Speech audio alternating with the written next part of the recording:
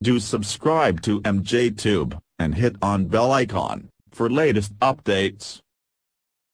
Hey guys, welcome back again. I'm MJ. In this video, I will show you how to fix gaming bar not recording, Xbox not recording your game in Windows 10 PC. So here I have open Xbox and when I press Windows G and when I click the start recording, I'm getting this type of error. I'll show you okay.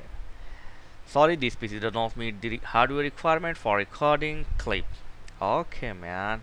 So let's see how to fix this problem.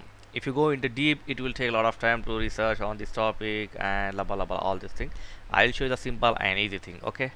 Now close this one.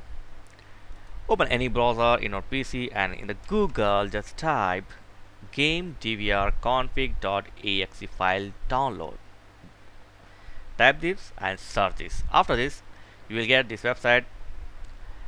Just click on this website like github and open the website. Here you will find a simple tool very lightweight tool this one tool.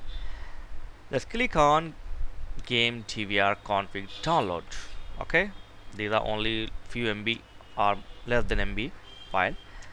So download it. After this just you will get this set of setup file. Right click on here and click on run as administrator. Okay yes.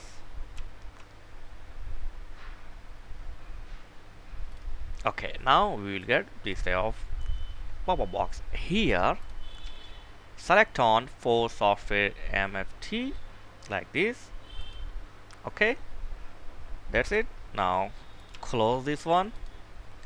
Now go to your task manager here and here where it this one broadcast DVR server just select it and untox it. That's it. Now hopefully uh, this will work with me. Let's see. Okay I have opened the Xbox. Now I'll press Windows G and then press recording and boom that's it I got it man. Look at that.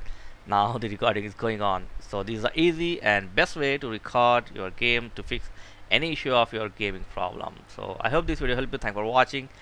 Catch you next video. Please like share and subscribe. Thank you very much guys